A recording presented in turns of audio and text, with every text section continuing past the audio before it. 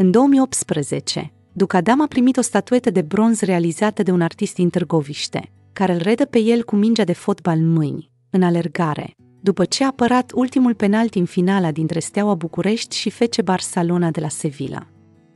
Lângă statuta de bronz, Helmut a așezat o păpușă pe care a primit-o de la bunica lui când avea șapte ani. Un obiect de valoare care poate nu pare este acea păpușă. Când eram mic, mă jucam cu păpușile. Mi-am dorit-o și am primit-o de la bunica mea în 1966, a povestit. Casa în care a locuit Helmut Ducada Mare, la parter, un living spațios cu bucătărie deschisă. Pereții casei sunt decorați cu diferite tablouri, dar și cu icoane și cruci. Întrebat atunci cât de des intră în bucătărie, Helmut Ducadam a glumit că destul de des, având în vedere fizicul lui.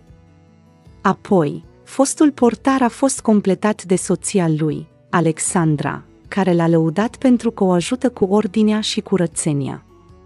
Suntem o familie cărora ne place să stăm împreună și ne place la noi acasă.